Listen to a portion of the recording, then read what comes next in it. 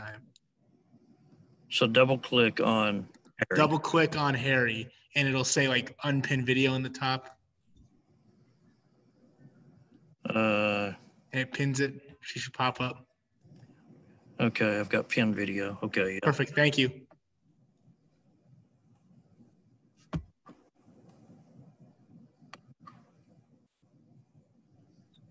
Okay. All right, guys. We're out by the court, so hopefully that's a little better. Good to go whenever, Harry? Yep. Okay. Coach, just uh, if you could for us, sum up the effort you saw from your team. You got obviously a loss, not great, but you, you got to appreciate the bounce back in, in a tough environment, I assume. Yeah, I thought that we showed a lot of maturity and poise tonight and, and had a consistent effort for 40. I didn't think that we let it get out of control. I thought that we kept fighting. I thought I just really thought that our um, that our focus was really really good. Um, and yeah, I, I, hate that our kids didn't come out on top because um, they fought really hard for that. But that's what it's going to take uh, from here on out, you know, to to get wins in the Big 12.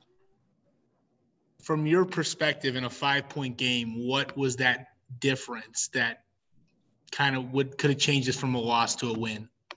Yeah, well, I mean, a couple of things. I mean, I felt like we had some missed opportunities, whether it had been a layup here or um, a, a, costly turnover there. Um, you know, I can't really complain too much about our performance at the line um, because we got to the line so many times and we were really, really good. 24 from uh, 24 for 30 is really good, but of course, you know, go 100%, that can take care of it. So, you know, I just think just making a few more plays here and there. Uh, but but really, overall, I just thought we battled every single possession.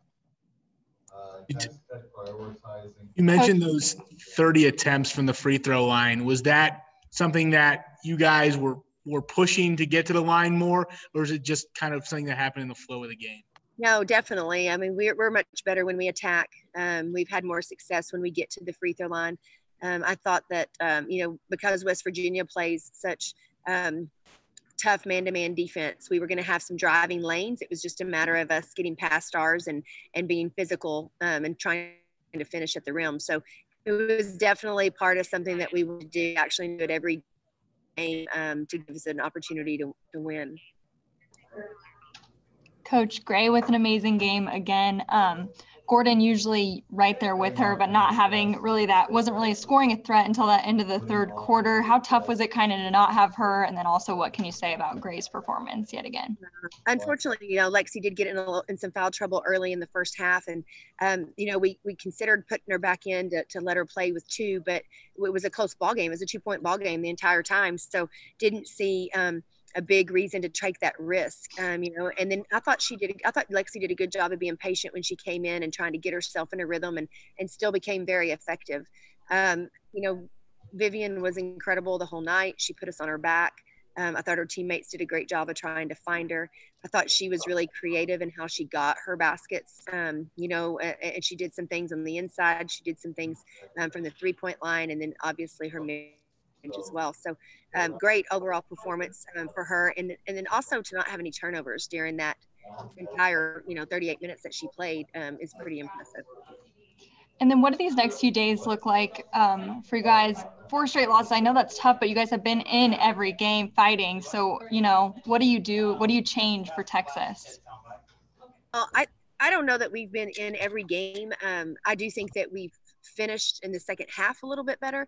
I thought we were definitely in this game, and that that definitely I think shows our kids that um, what kind of fight and effort it's going to take um, to be able to win. And, and, if we have that type of focus and effort, um, we're going to win some ball games. Um, so yeah, we we've got to build off of this.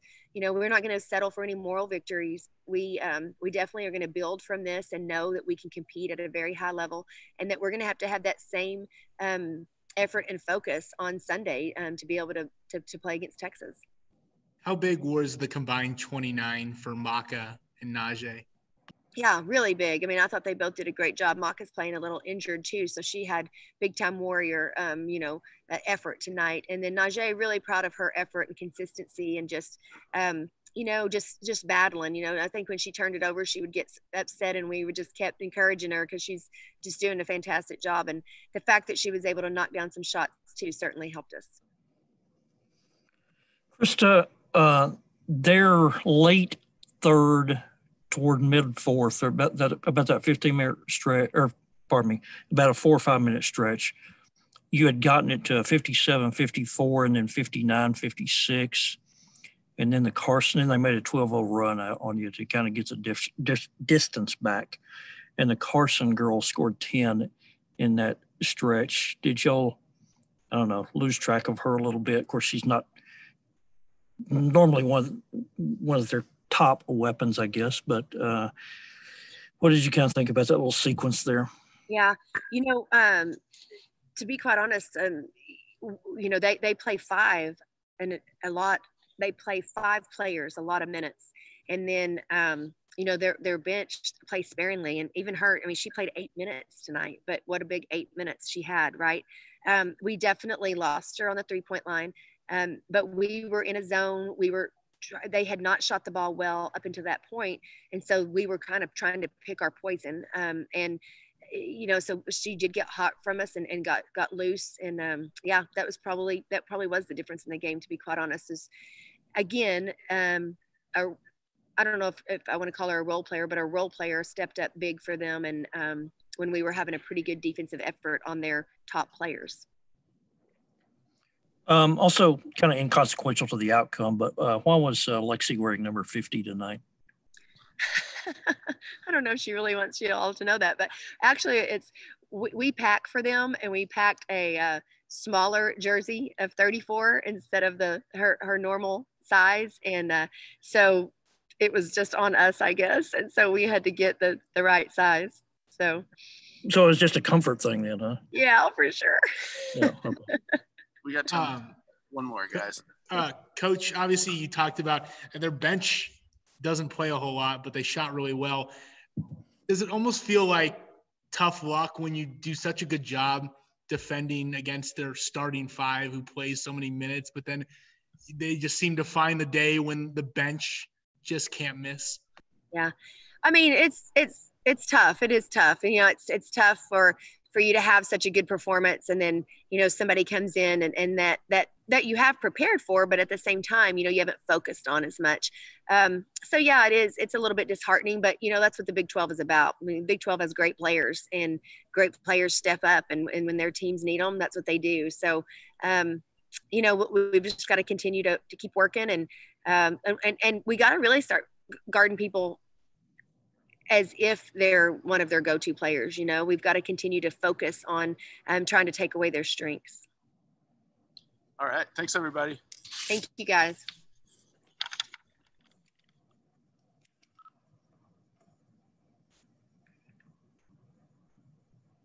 Don, you're good. My stuff, my stuff ended up working out well enough. Thank you though. Okay, good. Because because I feel pressured. Uh, I never feel pressure because I always just use my voice. I always just use my voice recorder, and I a lot of times I forget to hit video record. So I felt I felt pressure when uh,